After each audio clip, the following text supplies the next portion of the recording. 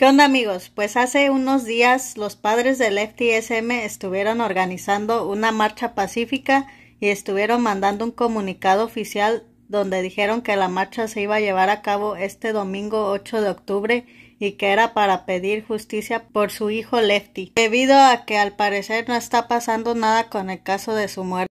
La mamá dijo que ella iba a estar presente en la marcha y estuvo dando más información de dónde se iba a llevar a cabo.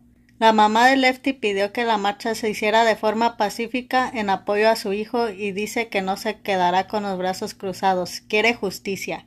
Esa Mari también estuvo publicando en su Instagram hace unos días lo siguiente. La gente podrá destruir tu imagen y manchar tu personalidad, pero jamás podrá quitarte tus buenas acciones porque no importa cómo te describan, aún serás admirado por aquellos que realmente te conocen. Y cuando tú sabes quién eres, no tienes que demostrarle nada a nadie. También estuvo pidiendo justicia para su esposo Lefty SM. Pero al parecer, ayer se llevó a cabo la marcha y esa Mari no estuvo presente. La prima de Lefty SM subió un video donde mandaba una invitación a todas las personas que quisieran apoyar a los padres de Lefty. Buenas tardes, yo soy Cari Sauceda, prima de Lefty.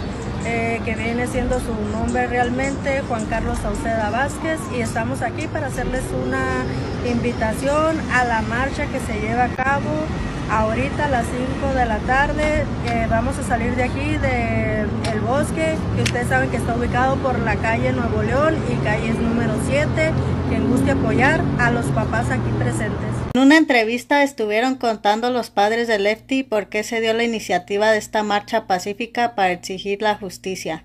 El papá de Lefty comentó que esta marcha se organiza para que se tome cartas en el asunto de su hijo y que den avances de las investigaciones. También comentaron los padres que ellos no han tenido acceso a la carpeta de investigación ni tampoco respuesta de las autoridades del estado de Jalisco, donde falleció su hijo. Con esto queda comprobado que la madre de Lefty fue a Guadalajara con su abogado a exigir que le dieran información y le negaron el acceso debido a que esa Mari compró a las autoridades para que nadie tuviera acceso. Aquí les dejo un video para que vean cómo se llevó a cabo la marcha el día de ayer.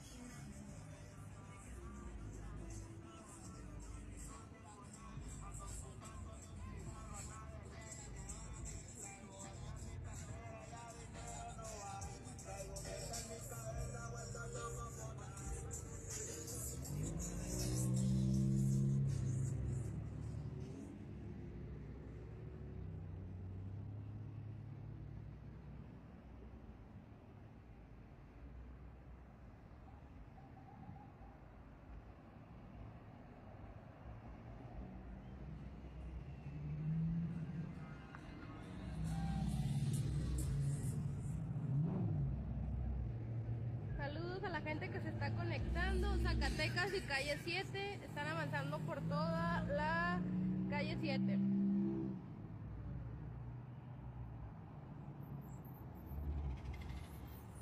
Así que ustedes qué opinan de este caso? ¿Creen que esa Mari sí sea la responsable? Déjenmelo saber en los comentarios y pues ojalá se haga justicia para el FTSM.